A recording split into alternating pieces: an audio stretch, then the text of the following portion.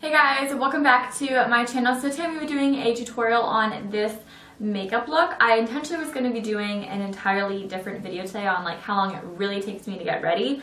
But as soon as I got in my Morphe palettes, this is the 35O and then the 35OS, I was like, I have to do a tutorial on this. So that's what I'm doing today. Yeah, I intentionally had this video start out and it was gonna be a cut crease. So that's why in the video I keep talking about like, oh, we're gonna do this for your cut crease and like this is this, whatever. Halfway like through the eye makeup, I was like, you know what? Like this would look way more bomb not as a cut crease.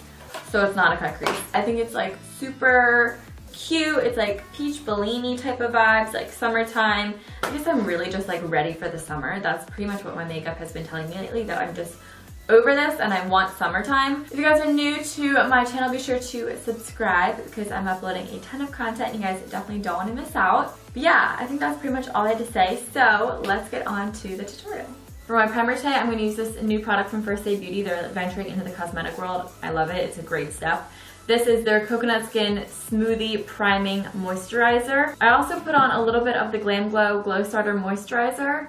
That's like my ride or die moisturizer for my makeup. I'm just obsessed with how it looks. It is so important to prep your skin for your makeup because it makes your makeup go on way better, it makes it stay on longer, and it just makes it feel better.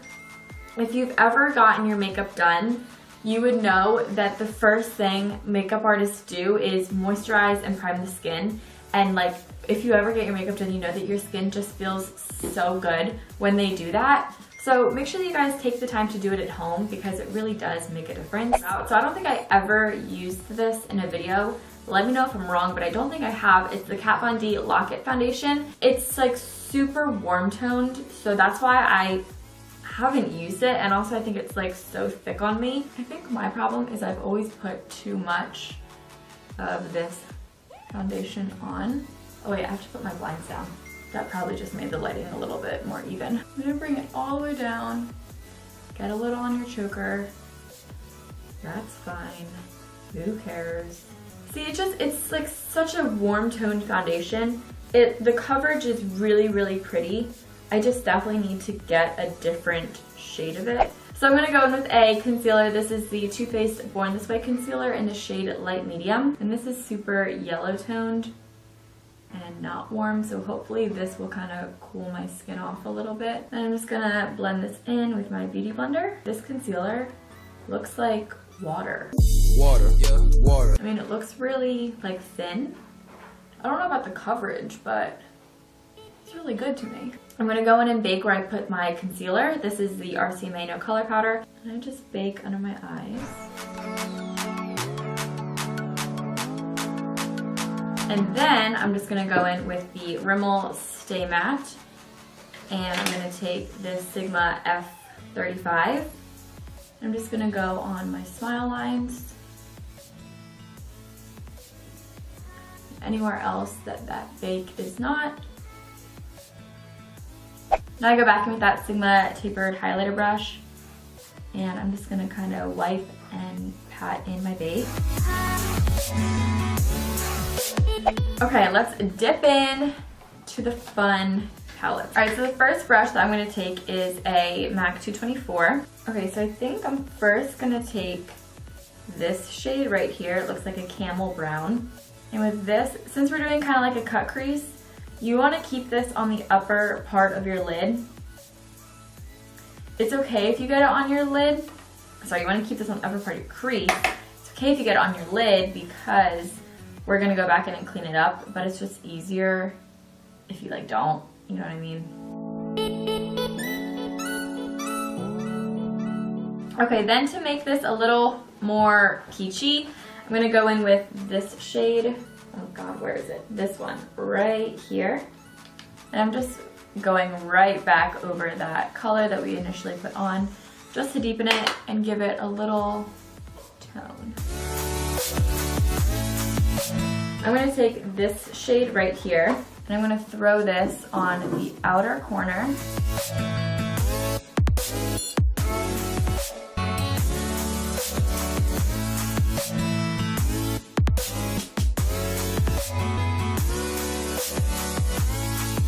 So I'm just gonna go back in with the Born This Way concealer. And you're just gonna start by defining your crease.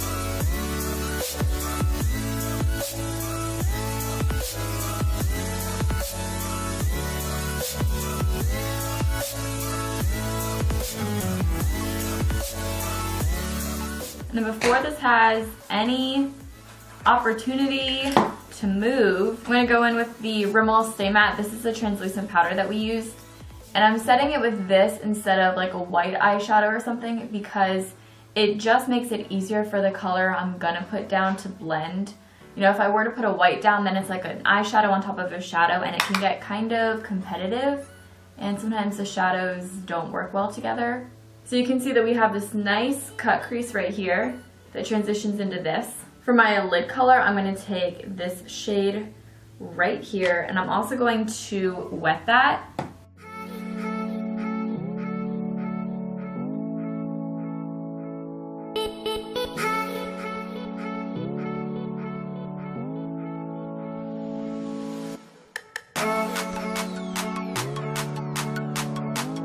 to blend the two, I'm just gonna go back in with like that, reminds me of like a peach Bellini type of thing, type of look, type of color. I'm just gonna pat that where the two meet just to blend them. I don't really wanna add a darker color there. I just wanna keep that to the same two colors on the lid.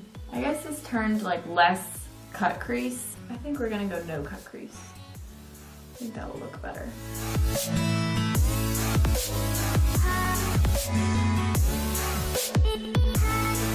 See, that happens. That's like what happens when you just do your tutorials on the fly. You just kind of come up with things as you go and see what you like, see what you don't like, and it's fine. No, originally I was gonna do like light colors and have this be like wearable and stuff, but I mean, look what it's turning into. It's just like a unicorn right now. It's really great. I really am enjoying this. So I think what I'm gonna do is I'm gonna mix this one with this one. And I'm just placing that right here.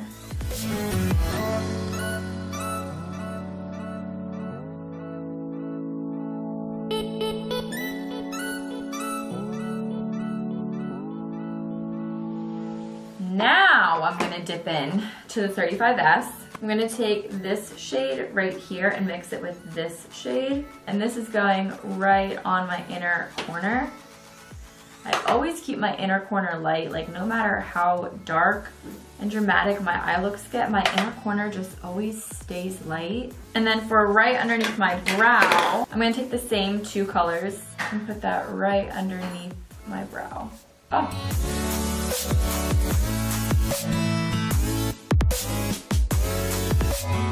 Okay, I'm gonna go back in with the 35O. Sorry, I know I'm being so extra using both palettes. I just wanna like use them, you know what I mean? I'm gonna take like the lighter shade that we put in our outer corner, this one, and buff that along my outer corner. Eh, let's buff it along the whole thing. Why not? Why not? To keep the whole kind of like peach thing going, I'm gonna mix this with this on this brush. I don't know what it is. I think it's a crown, brush. crown brush. I really don't know. I'm just gonna buff, buff, buff along that shadow that we just put down.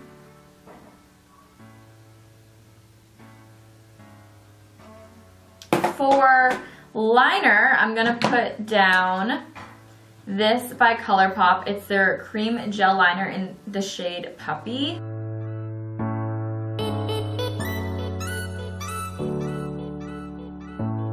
Okay, I'm just gonna do some winged liner. I think this, like, even though winged liner is so dramatic, for me, it'll make it more wearable and like tone it down. Is that weird?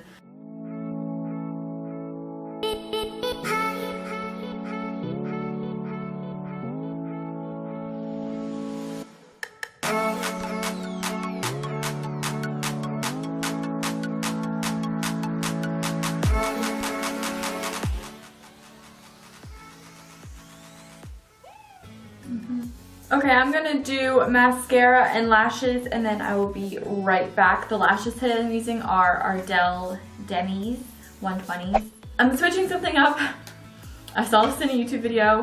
Who's shocked? So I'm just using a darker foundation. This is the Makeup Forever Pro Finish foundation. I guess, powder foundation.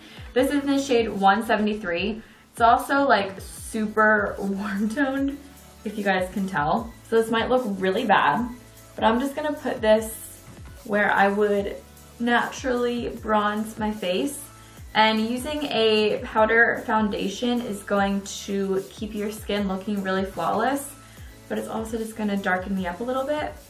This is with a Real Techniques blush brush. This is like my favorite powder brush to use when I do stuff like this.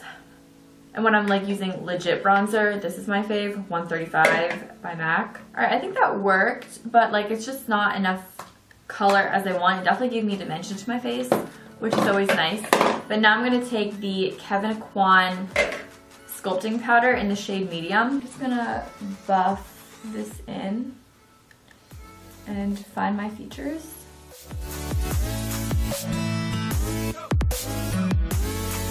For blush today, I originally picked out like this peach color and I think it still works. This is Papa Don't Peach. Such a cute name by Too Faced.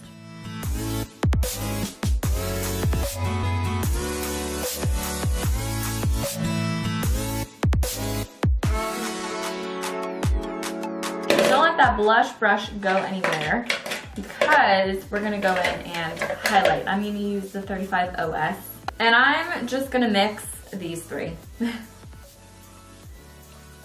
Let's see what color I get.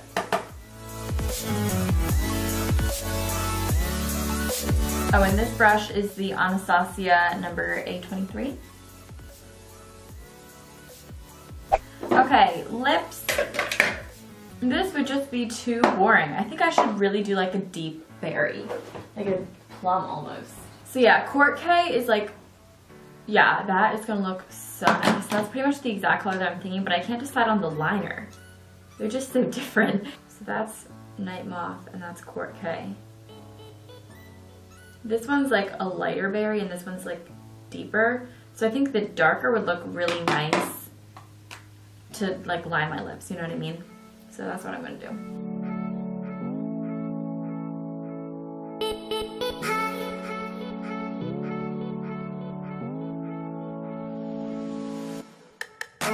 Now, Kourt K, like, is kind of really streaky, so let's hope it looks good.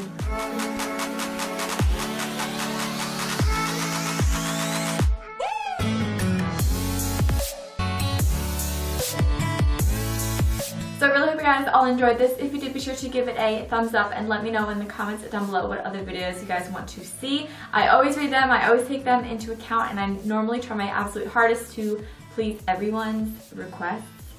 So I pretty much always get around to it at some time or another, but I do listen to all your comments and I do read them all. So be sure to leave a comment and say hey, and I'll probably reply. So yeah, thanks so much for watching, and um, I'll talk to you guys in my next video. Bye.